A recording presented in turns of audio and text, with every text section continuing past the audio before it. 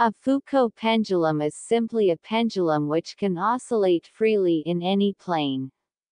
So that even if we rotate the stand, the plane of the pendulum remains stationary. Imagine a person rotating with the stand. With respect to us, the plane of the pendulum is stationary and it is the person who is rotating. But with respect to the person, he himself and the stand is stationary.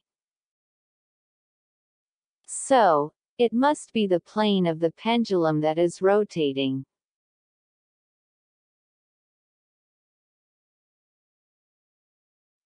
This effect can be observed even if we don't rotate the pendulum.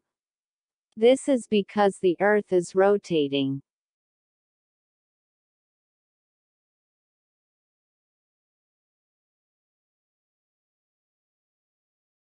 We can see that the Earth and the person is rotating while the plane of the pendulum remains stationary.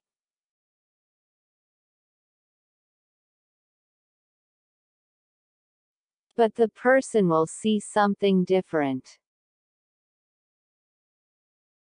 With respect to him, it is the plane that is rotating.